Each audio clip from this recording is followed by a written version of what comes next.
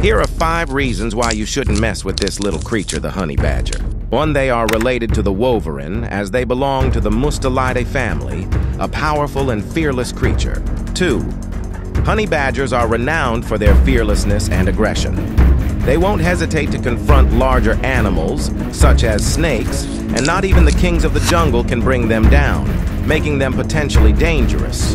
Three, they are small, compact mammals length ranging from 61 to 76 centimeters and a weight of 9 to 16 kilograms, perfectly suited for their powerful and agile nature. Four, they can carry diseases and have the potential to transmit them. Five, they can also attack humans even though it's rare.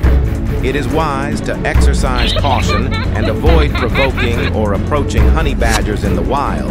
Respecting their space and observing them from a safe distance is the best practice.